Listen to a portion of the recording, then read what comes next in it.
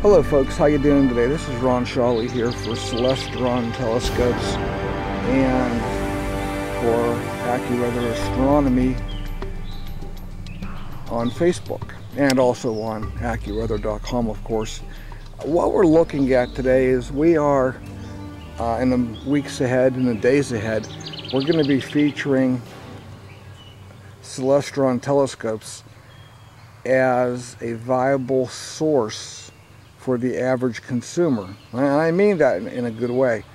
Uh, there are many companies out there who manufacture telescopes, but Celestron, they have a good, and I mean a good quality telescope that they manufacture.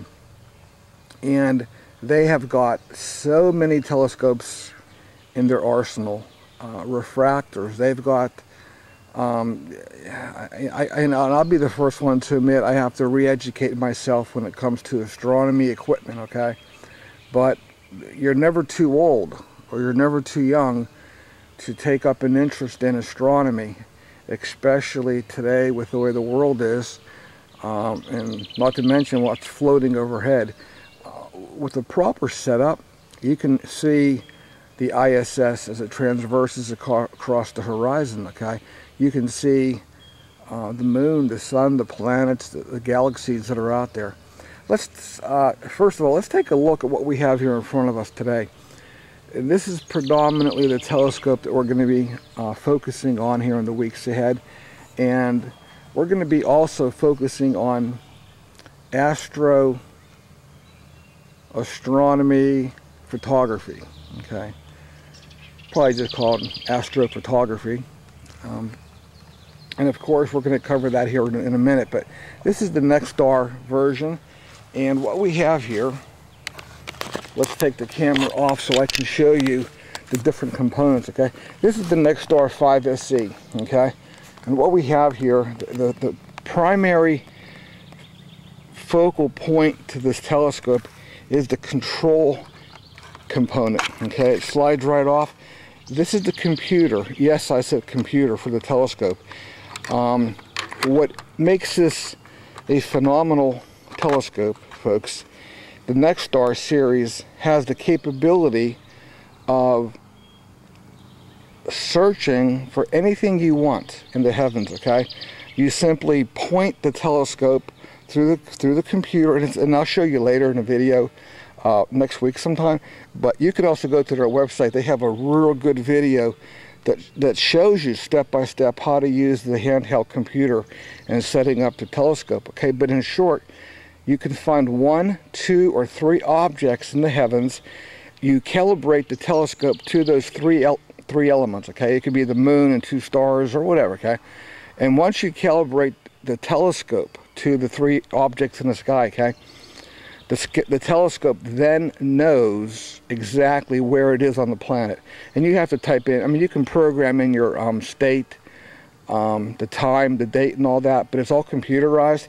So then all you do is go to the handheld and you say you want to look up uh, Mars, okay? And you key it in, the telescope will then automatically transverse right to wherever Mars is at, okay? Now you got to make sure that Mars is out, okay?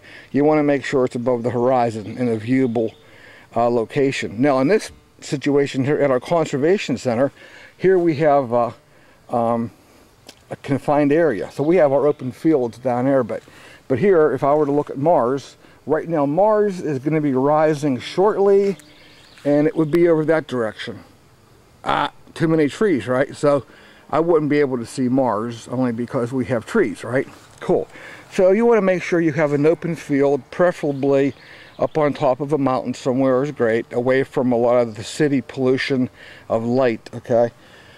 Now, the telescope that we are looking at, the 5SE Nexstar series, some of the basic components, okay? The computer, I mean, the telescope, when it is, when you purchase your telescope, it is so simple. Within five minutes, you can have this thing set up and running, okay? Um, but you get your basic telescope, you get your arm assembly where you mount your telescope to. And in here, this is your lens cover that goes on to the face of the telescope. Uh, this is your battery compartment down here. This is where you store your batteries. And the Nexstar series has two outputs. One for a camera output and an auxiliary output, okay? The camera output, which I'll be showing that here in a moment, is extremely uh, useful. Now you can photograph what you're looking at at nighttime, okay? But you have to have a good SLR camera, like, um, you know, the Canon EOS, Nikon, etc., okay? Uh, point and shoot will not work. Um, you need to have a good SLR, okay? On the telescope, there are many features about this telescope. It, it incorporates the Starbright system. It's a high performance coating that is applied to the lens. Let me see if I can't get over here and, and show you that. Here's the, uh, the lens, okay? But it actually has a high uh, coating on there that, again, folks, I'm, I'm learning as I go too, okay? But it has a special coating that allows more light to enter into the telescope and eventually reaching the eyepiece, okay? The telescope comes with a diagonal piece. This is your diagonal piece, okay? The light comes through the, the mirror. From the mirror, it bounces up into the eyepiece, okay? Telescope comes with a uh, 25 millimeter um, eyepiece, all right? Which I have to, which you just have two set screws that you can tighten your eyepiece. The eyepiece, by the way, are interchangeable. You can put different eyepieces on the telescope. Now, when you go to turn on the telescope, okay, on the bottom of here, we have an off-on switch, okay? And there's also another uh, external port here uh, to calibrate the Nexstar handheld unit right there. But that's your off-on switch, okay? You turn it on, that's simple. And on the LED, it's kind of hard to see it, but the LED will come up, it'll say next Nexstar SE, you know, uh, click the enter button to begin alignment of your telescope. Pretty simple, folks. It walks you through step by step.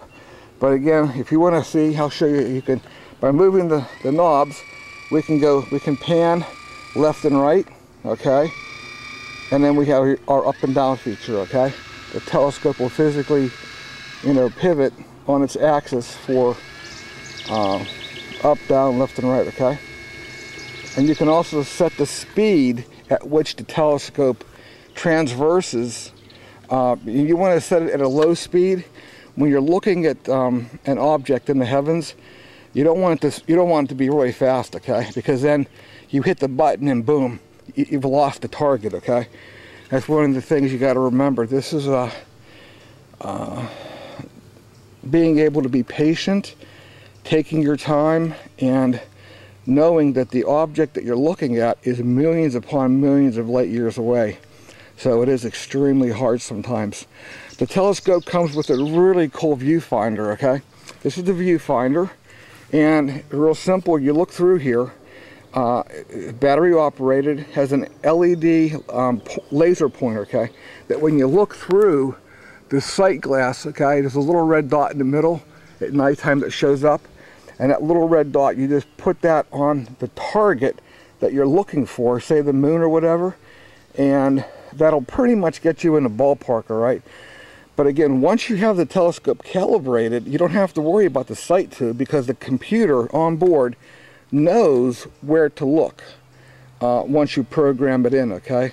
This is a phenomenal phenomenal telescope for uh, if you're if you've been around astronomy a little bit it doesn't take that much time to learn how to use it, it it's far from a beginner telescope but it um, like I said if you've had telescopes in the past uh, it, it doesn't take that long to become familiar with the telescope itself.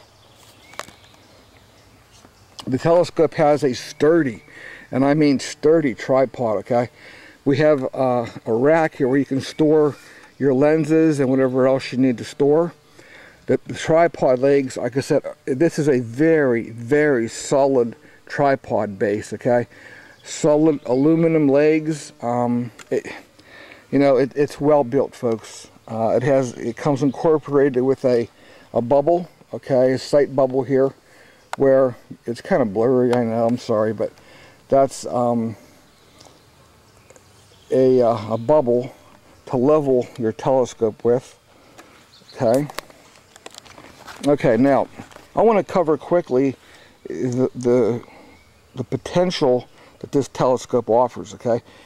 If you want to photograph the night sky, you simply take off the base. And this is so simple, okay? It simply screws off the back of the telescope, okay? The visual back, one and one quarter in diameter, okay?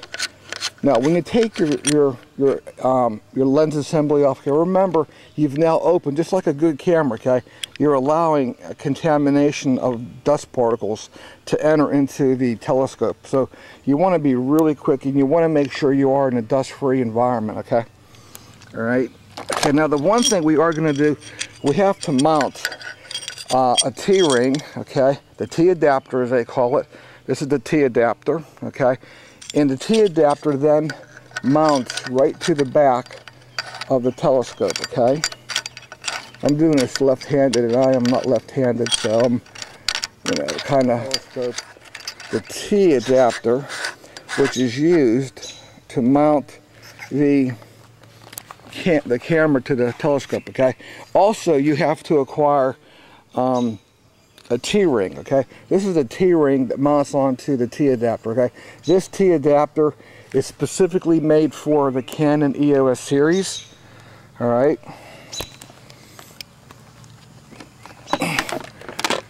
Okay, I'm to try to do this and hold this, but what we're doing is we're, we're taking the camera, okay, and we're lining up the holes. Like what we've done is we've taken the um, camera and we've attached it to the T-ring itself right here, okay? All right, and you can see on this angle how it looks, okay? Real simple, we have a T-adapter, T-ring, and then it screws right into the camera. Now keep in mind, okay, a question that I had, okay, without the lens here on either end, either the camera or a telescope, the only magnification that we're gonna have is the magnification from within the actual tube itself of the telescope, okay? But this alone will get us a lot closer than you could ever imagine, okay? So it, it does provide that opportunity. Now they do, and again, in the weeks ahead, they have a device that mounts in here, okay, that allows for magnification um, to the camera that you're shooting into, okay? But that's another step down the road here, all right? We're going to be back here tonight as we photograph the uh, super moon. We're going to be uh, shooting it, and hopefully we're going to have some killer photographs to share with you. Oh, on the uh, camera, your SLR camera, when you set it up, okay, you want to make sure that it is in the uh, uh, B mode or manual mode, okay? You want to make sure you have, I have one here, um, a, uh, a, wireless release for the camera. Now also, I told you about the camera output here, okay, right there. They have a, a cable that they comes with the telescope that plugs into here and then it plugs into your firing cable for your camera. The computer, the computer on board can then track any celestial object as it goes in the heavens, okay? And then it'll automatically trigger the camera to take pictures as it transverses that route through the heavens okay? So if you're tracking the moon okay you can set this computer uh, and or your camera to take pictures continuously as it transverses on a particular path in the heavens okay? So a lot of capabilities here and absolutely and I mean this folks okay? I can remember buying my first telescope paying over a thousand dollars okay? And it was nothing. I mean it was nothing compared to what we're showing here okay? And, and guarantee this is well below a thousand bucks okay? You can probably pick it up between and I've seen it now already as low as $500 for a kit so maybe even lower if you search on Amazon okay?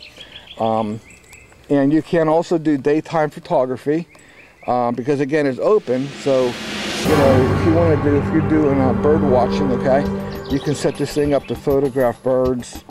Uh, it, it's a fantastic daytime telescope as well as a nighttime telescope, okay?